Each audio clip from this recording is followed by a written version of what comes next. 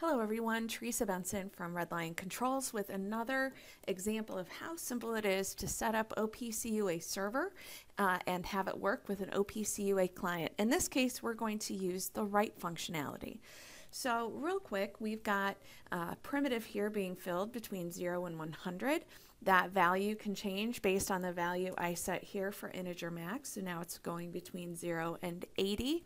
I can also change this uh, floating point value and we can see that that's reflected. Now I'm doing all of that from our web server on this 10 inch graphite and we can see in our OPCUA client that the value is changing on that integer and we see the floating point value and the integer value, integer max value. If I try and change it here, uh, it goes back to 81. I don't currently have write privileges on my server. So let's see how simple that is to set up.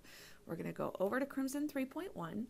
We're in the OPCUA server services area.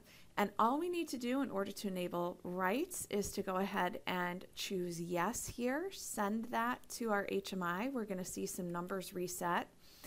Uh, if I put a floating point number in here, I see it change, but I can now come over to my OPCUA client and I can make changes in the client and see that reflected in my HMI. So let's change this max value here. Let's say I want to make it 71.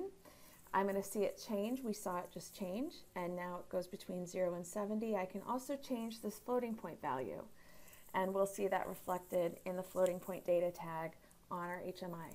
That's it. That's how simple it is to set up write functionality with the new OPCUA server in Crimson 3.1. Join us here for more tips and tricks, and I look forward to seeing you soon.